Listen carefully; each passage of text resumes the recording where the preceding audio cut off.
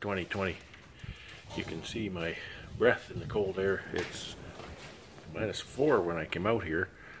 Uh, it's not terribly cold, bit of a breeze though, so that makes it kind of cold. I have to wear my gloves, hopefully I don't get too cold. My hood. Only takes me about three minutes to grab a colony and drag it in here, so then, you know, another minute for the round trip. So stretch that out and average five minutes for four colonies. You can do the math on, uh, you know, 100 and some 110 colonies. A lot of them are nukes, so they got three at a time. So the honey house will now be known as the bee barn. And uh, so we're going to be setting these in here.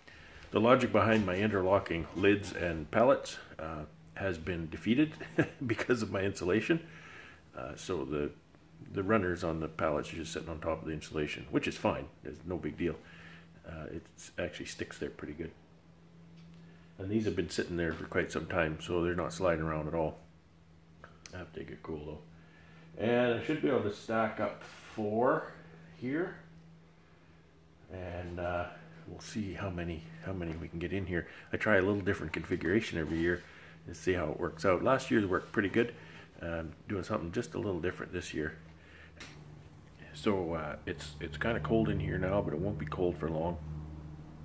I wanted to cool off uh, for the bees because they uh, they heat it up really fast when they move in here. They're normally used to sitting outside, so they get in here where there's no airflow. Uh, it's a little bit warmer, and uh, they'll overheat this building pretty fast, and uh, they'll make that ventilation fan come on on high speed for a long time. So anyway, I better get get at this. I'm pleased to be able to get at this today, and they should be in here inside two to three hours. We should be all done. I don't know if you can hear this. I've just moved these two skids of bees in, and they're uh, they're buzzing away in there.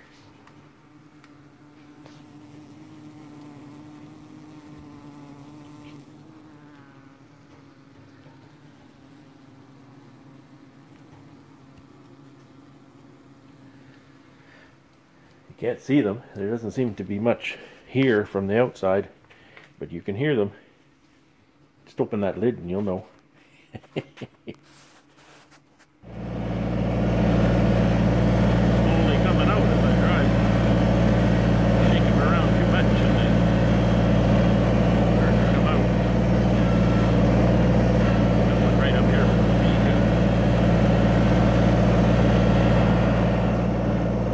Well, they're in.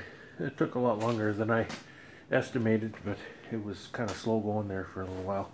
And it's so cold, I had to stop and go warm up. See, I got my heavy Carhartt on here even, and I'm cold. I'm cold to the bone. Humid, I guess, out here. Um, and, uh, of course, the building is cold now, too. It's not super cold for a Canadian, but I guess it's just the, the first cold of the season. We're not accustomed to it. So I think I have 111 in here. They're packed kind of a, in a goofy way, but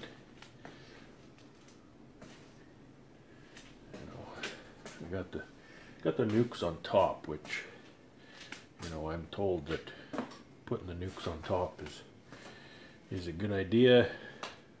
Things are a little warmer up there.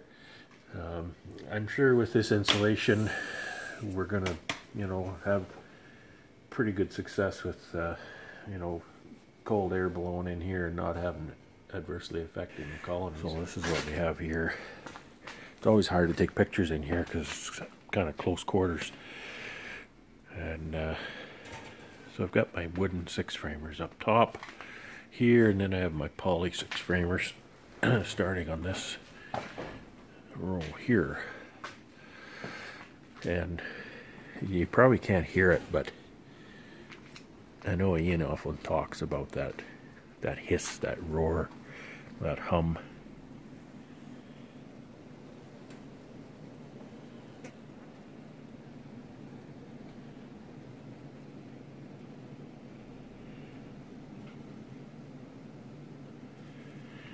They're all out here wondering what in the world is going on.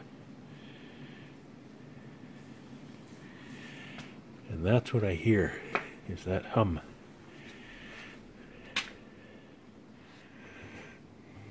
So I have to come and take all the entrance reducers out sometime. That's not a critically important job, but it uh, should should be done in the next week or so. But I'm going to go in and warm up. I am just frozen to the bone out here. I'm going to sort these out, and make them look a little nicer. This bothers me. I don't sleep at night very well. But anyway, I'm to turn the heat on in here. I, I said I wasn't going to, but I'm going to do that. I don't want it too cold in here for other reasons, and I think the bees will be fine.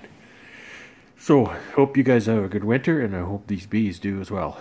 Take care and have fun.